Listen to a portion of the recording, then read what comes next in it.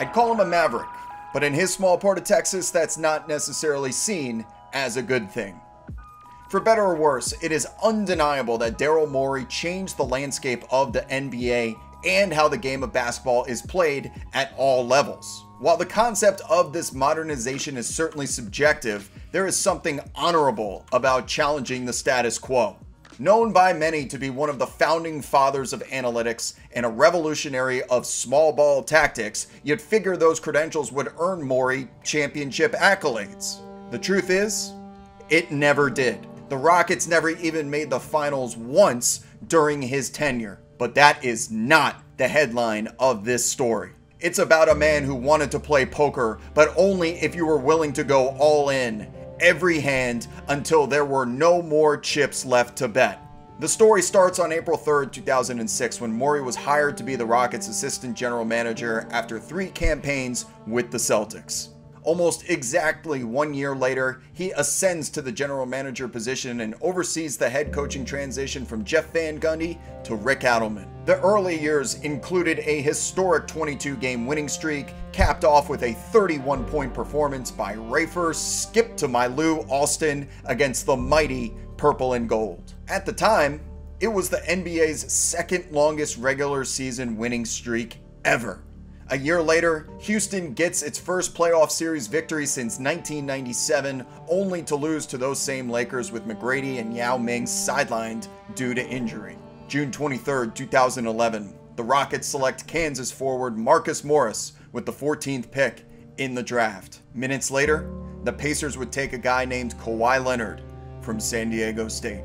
Soon thereafter, Linsanity invades the 713 on a three year, $25.1 million deal. While this certainly made headlines worldwide, little did we know that it would pale in comparison to what he had planned next the James Harden trade. And then, the coup. Only to have the revolution halted in its tracks by a young, fire wielding point guard out of Weber State. Summer 2014, the Exodus. After reshuffling the deck multiple times, the Rockets pull off the decade's original 3 1, knocking the vaunted Lob City Clippers from the playoffs in seven games. An achievement which prompts a domino effect, setting the stage for the beginning of the Golden State Warriors dynasty.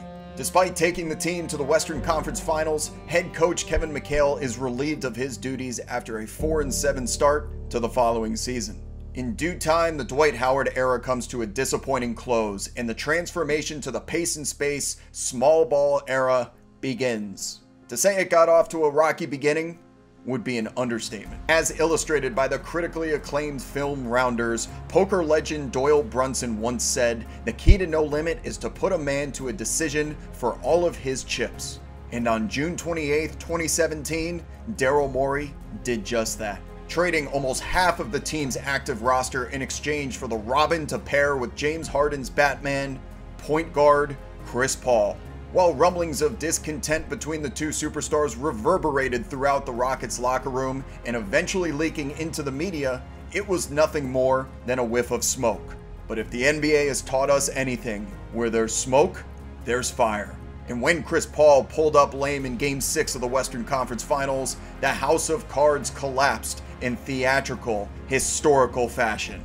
Morey doubled down on his experiment, going to the ATM for a cash advance to extend Chris Paul and get back into the game despite the looming interest bill due at the end of the project. Morey wins Executive of the Year. Harden is the league's MVP. To conquer the Golden State Empire, Morey even reaches up his sleeve to play a Joker. The result was all too familiar. At this point, the NBA had transitioned from the formation of the Big Three to the Super Team era, and now the age of duos.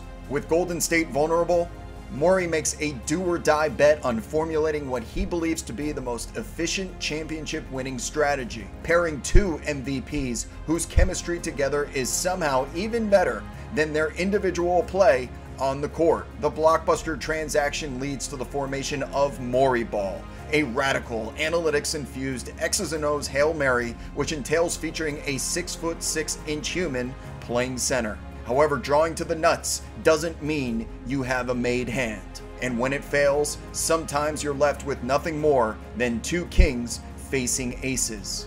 Whether you think his experiment worked or not is ultimately up to you. But let this trip down memory lane remind us that Morey's outside the box strategy was the first of its kind. One which nearly two and a half out of every three franchises in the league would kill to have the opportunity to implement themselves. Seeing how close they got to eternal glory over a 15 plus year span. And just because he doesn't have a ring to validate this experiment, doesn't mean it wasn't worth it. Now in Philadelphia, the setting is different, but the questions remain the same. Like his martyred predecessor, will Morey blow up the establishment to implement his style of play? Or does he sell everything in the store to complement his two in house superstars like he's done so many times before? The answers to both of these questions have defined his legacy to this point, but not the future. That timeline begins now.